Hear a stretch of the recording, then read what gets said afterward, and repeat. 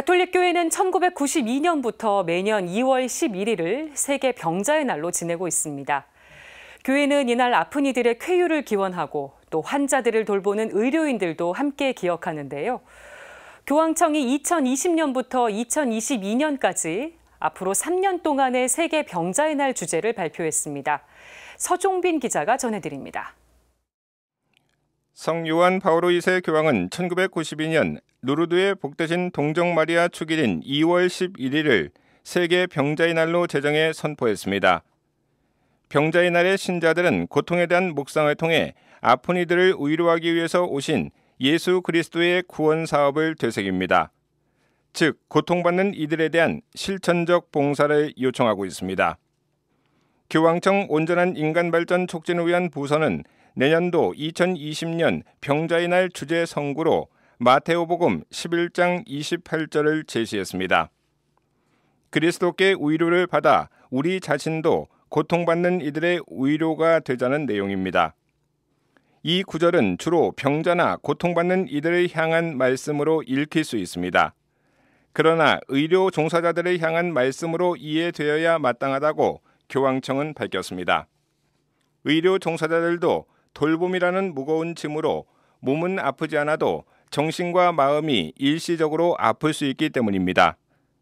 따라서 보건사목은 고통받는 이들을 대상으로 하지만 그들을 돌보는 의료 종사자나 자원봉사자를 대상으로 시작되어야 합니다. 우리 각자가 위로받지 못한다면 그리스도 안에서 얻는 위로를 가져다 줄 수 없을 것입니다. 2021년 세계 병자의 날 주제 선구는 마테오복음 23장 8절입니다.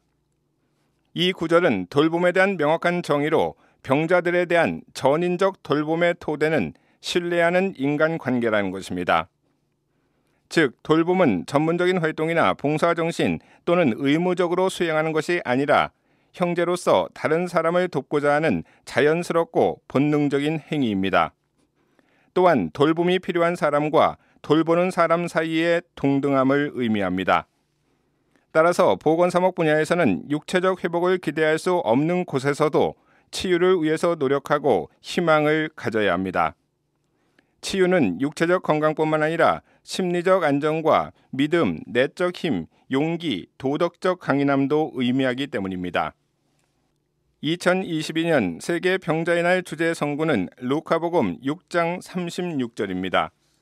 이 구절은 고통받는 이들 곁에서 사랑의 여정을 함께하기입니다. 우리가 완벽한 사람이 아니듯 우리가 돌보는 사람도 완벽한 사람이 아닙니다. 따라서 오직 자비를 통해서만 사랑과 희망의 시각을 발견할 수 있습니다. 그리스도 안에서 한 형제로 배려와 자비의 마음으로 우리가 돌보는 일을 이해하는 것은 올바른 행동입니다. 보건 사목은 경청과 대화를 의미하며 더 나아가 곁에 있어주는 것입니다. 한편 프란치스코 교황은 2022년 세계 병자의 날 장엄 예식을 페루 아레키파 비르엔 대차피 성모 순례지에서 거행하도록 지난 2월 2일 승인했다고 교황청이 밝혔습니다. CPBC 서종빈입니다.